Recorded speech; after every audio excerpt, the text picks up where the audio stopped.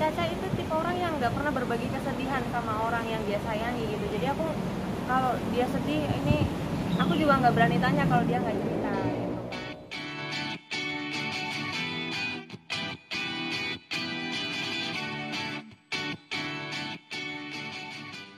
Juga gitu. Ternyata itu pertanda juga kalau ya, ternyata kita nggak bisa ketemu lagi Kalau sekarang dimimpin nggak sama Caca? kenapa? Sekarang dimimpin nggak sekarang? Dimimpiin nggak? dimimpiin. Kalau sekarang ini? aku belum bisa tidur nyenyak malam. Udah berapa hari ini semenjak kejadian almarhum kecelakaan itu aku belum bisa tidur nyenyak kalau malam. Jadi jangankan untuk tidur untuk ke kamar mandi aja aku nggak berani sendiri. Aku harus ada teman. Jadi kayak merasa dia ada di dekat aku gitu loh. Caca, kemarin sempat nama Iska ngomong katanya ada sempat mengalami maaf depresi Hmm. karena pemasukan nggak ada Hmm. mobil ditarik Iya. tempat yang bunuh diri benar nggak sih? Mungkin Oh, kalau itu gini, Caca itu tipe orang yang nggak pernah berbagi kesedihan sama orang yang dia sayangi gitu. Jadi aku kalau dia sedih ini aku juga nggak berani tanya kalau dia nggak cerita gitu kan. Kalau aku tahu, andaikan aku tahu dia sedepresi itu, mungkin aku akan bilang sama dia, ya ada rasa nyesel juga sih. Mungkin aku akan bilang sama dia bahwa dia nggak sendiri, dia ada teman, dia ada kita gitu. Dan kita juga ngalamin hal yang sama gitu.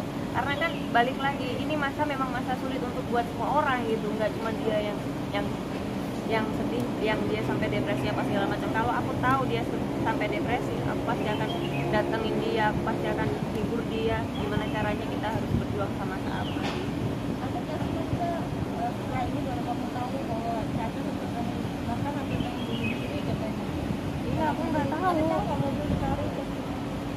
Aku malah taunya nggak tahu kalau itu ya. Kalau kalau maksudnya kalau untuk eh, hal-hal yang sepribadi itu aku nggak tahu dan nggak berani nanya gitu. Kalau dia nggak cerita aku nggak berani nanya.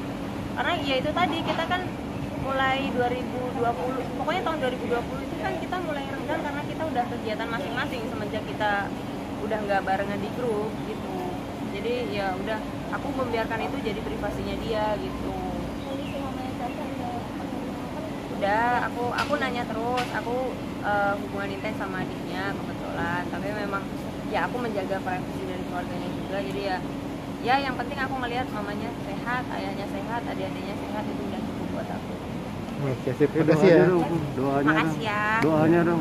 Doa doa ya doa semoga Caca bahagia tenang di sana Hmm, akhirnya dia eh gimana ya aku mendoakan dia di sana. Pokoknya kan dia dia lebih indah di sana tempatnya lebih indah.